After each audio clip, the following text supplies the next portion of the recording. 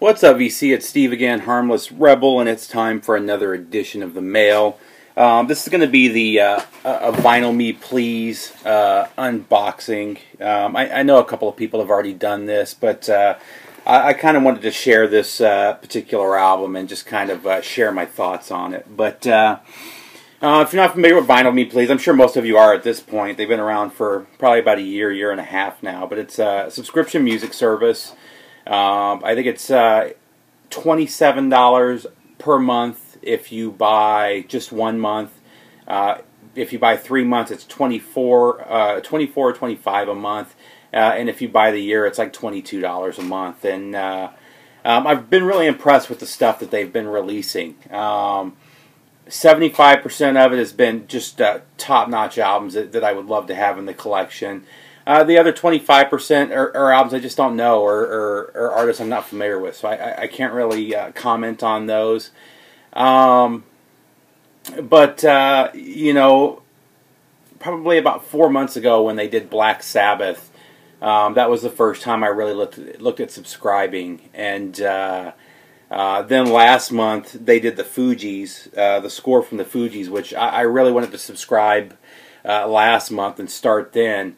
Uh, however, um, I was in Brazil and there was some issue where it, it just wasn't letting me do it from Brazil. So, uh, you know, it detected where my computer was logged in from and it wouldn't let me sign up for an address here. Um, so I, I, missed out on that one. And, and, and hopefully I'll be able to uh, still get a copy of that. And I'll talk about how in a minute. But uh, um, they, like I said, they offer the, the, the, the monthly subscription plan, the three month plan, or the annual plan. Uh, you can also get it as a gift uh, for a friend. Um, but uh, uh, and then one of the cool things I like about their service, if you do the longer subscriptions, uh, if you do the three month subscription, and, and, during those three months, if if you get one album or one of the albums is an album you're not interested in or you don't like, uh, you can actually swap that out for something in the archive, which means something that's come out in the last three or four months. So, if in the next two months they put out something, I did the three month subscription this time, but uh, if they put out something that I don't like, I'll swap it out for that Fugees album that, that I did want to get last month. So, uh, and then if you do the one year uh, membership, you're allowed to do four swaps during that one year. So you basically get one swap every every three months, uh, which I think is a really cool feature. Um, you know that they recognize that there's going to be some stuff that they put out that uh, that you're just not going to be that into. So, um, but uh, when I saw the album that was coming out this month, I had to buy it uh, or I had to sign up for it. I, I would have done the twenty seven dollars for this particular album. Um, however, uh, I I, went, I decided to go ahead and go with the three month option and just uh, see how it turned out. So this is the this is the box uh, that it comes in. It's just like the Actually, it's a little bit thicker, but it, it's real similar to uh, the, the Amazon.com uh, mailers uh, in, in, all but color. Like I said, this is a little bit thicker. Uh, I think this is actually a little bit nicer than the Amazon ones. But uh, so let's go ahead and open it up and talk about what we've got in here.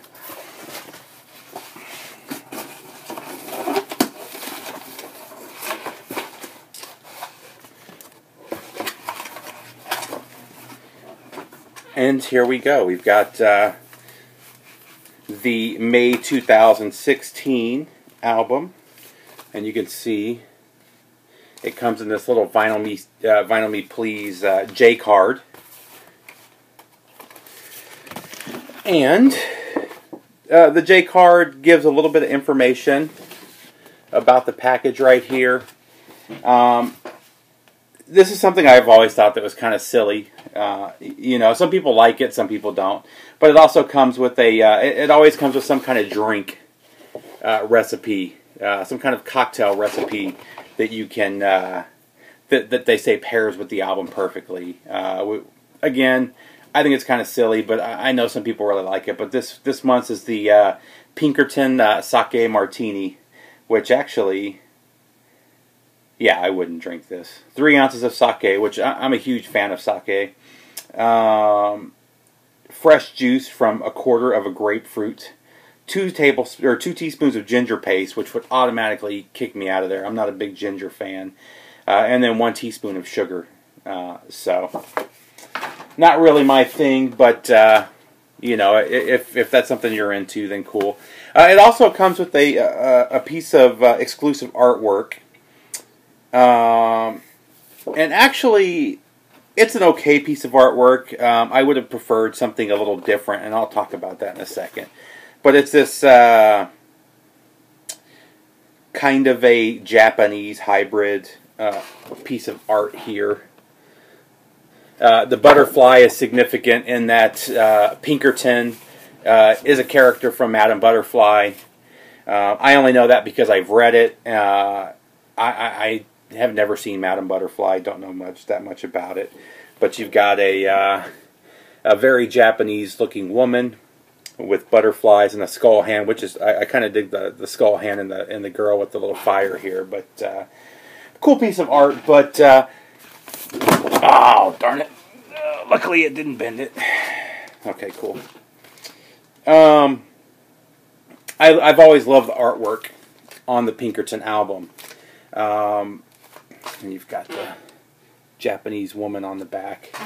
And that, that kind of goes to one of the songs on here, uh, Across the Sea, uh, which is based on um, a letter that Rivers Cuomo, uh, the singer, received from a Japanese fan and uh, it, it's a really cool story. I'm not going to get into it, but uh, uh, if you look up a little information on this album, you can find the story behind it. But it's very cool. I would have loved a nice Japanese block print, something cool like this, or maybe a modern uh, print uh, as the artwork. Um, I love Japanese art. Again, I, I lived in Japan for for just or right at eight years. Uh, my wife and I have Japanese artwork and block prints all over our house. This is actually a, a pretty famous print, too, that this came from. Um, but let's uh, go ahead and take a look at this and, and talk about the album a little bit. Um, this is really a perfect album, in my opinion. I, I, I love this album. Um, I got into Weezer with their first album, with the with the Blue album. I, I really dug that when it came out. I think I got that through uh, BMG, so I got that through a subscription service too, which is uh, kind of funny. But uh, and then uh, shortly after that, what year was this? Ninety five, I think. Ninety six when this came out. Um, so I missed out on this one uh, and didn't hear it for quite a few until quite a few years after it came out because I went into the Navy uh, uh, around the time that this came out, and uh, I just ended up missing it. But uh, when I finally got a hold of this, I, I loved it from beginning to end. This is an, an amazing album. If all you're familiar with from Weezer is the Green album or the Blue album or um, the song Beverly Hills, uh, you know, stuff like that. Um, this is uh, very far removed uh, from those albums. Uh, and sadly, uh, I, I, mean, uh, this is their masterwork, in my opinion. But sadly, it didn't sell well, and, and they received a lot of criticism for this when it came out. And uh, Rivers Cuomo went from really uh, being passionate about this album to absolutely hating it. For years, they refused to play anything um, from this album just because of the bad uh, or because of the uh, criticism that they got from so many people. When they basically went from a pop band to uh, oh, it's really hard to describe this album. This album is kind of a mix of pop, uh, pop punk, emo. Uh, there's a very garage sound to it. Uh, the really nice fuzz uh, in the guitars on a lot of this album. It, it really is a, a, really mature album, and by far the most mature album that they ever put out. But uh, and it, it's also a, a, very introspective album. Uh, when Rivers was writing this, um, he was going through a tough time in his life. He, you know, he was he was dealing with um, the pitfalls of becoming a, a an overnight superstar uh, with their first album, while still being a college student. Um, he was also in and out of the hospital. Uh, he was born with uh, I can't remember what it's called, but one leg was shorter than the other, and he was going through these surgeries and on uh, heavy painkillers for months at a time uh, to lengthen the the one leg that was shorter, and uh, so he was dealing with surgeries and and on drugs and and and, and spending a lot of time in hospital beds just uh, thinking back on, on his life and, and how things were going. And that all played a part in this uh, this album, which again is very introspective. You know, some of the songs like uh, "Tired of Sex" and uh, a couple others talk about. Uh, uh, again, the pitfalls of being a rock star. There's some, some really uh, in, introspective stuff throughout this album. And, and, it really is just an amazing album. Tired of Sex is a really good song. Um, no other one is one that I really like. The Good Life is great. Across the Sea uh, and, what I what I like about this is there's no filler in this album at all. It's a short album. It, it's only uh, I believe 34 or 35 minutes, and uh, it, it's just it's just 34 hour, or 34 minutes of great music. It really is a, a perfect album. Uh, oh man, looks like I'm gonna have to email. I got mine is uh, split right here, so I'll definitely be emailing them about this. Uh, and, we'll see how their customer support is. I'll talk about that on the next time I do a video. Uh, so this is kind of cool. You open it up and it's got this little fold out of the block print, uh, which I, I, I, really, really dig that. Uh, so it is a gatefold. Again, really nice uh, cardboard. It's thick cardboard. Unfortunately, that's just the downside of shipping these days, you know. Um, it doesn't seem to matter how well you package something. The only way to avoid that, it seems, is to do like uh, companies like Rockadrome or Hell's Headbangers do, where whether it's a new album or not, they'll open it up and slide the vinyl out and, and stick it behind so that that doesn't happen. But uh, so let's take a look at the vinyl. Um, a couple of people have already shown this. Uh, but I, I, still wanted to uh, to show it as well. Baraka P Dub did a really good video uh, on this pressing, uh, and, and, I recommend that you uh, check that out. But uh, here we go. Here is the vinyl. I think I, I read that it's 140 grain. Or 140, 140 gram vinyl, and it is it is pretty substantial. It's it's still at a 40, 140 grams. It's it's thicker than than most standard records. Um, so what's really cool about this, uh, you can see it there. It's a, it's a really nice blue uh, with uh, black in there. But what what's really cool about this, and something that, that Bracapita pointed out, is in the dead wax, and you probably, yeah, I'm not going to be able to. You can kind of see where it's scratched out right there. And what's scratched out is MFSL 1 and then the uh, the number. If you're familiar with uh, MFSL, that's Mobile Fidelity Sound Labs. Basically, they took the Mobile Fidelity Sound Labs master, um, struck that out, and put their own number on there, and then uh, press it on 140 gram instead of 180 gram vinyl. Uh, and it's this really pretty uh, blue and black. And I've only heard good things about how good this sounds. Uh, I, have I've talked to a couple of people that got theirs in last week. I was real late to sign up for it. I signed up for it on the last day that you were able to to get a copy of this, and uh, um, so mine was late to get here. But uh, still, really nice looking uh, blue with black marbling in there.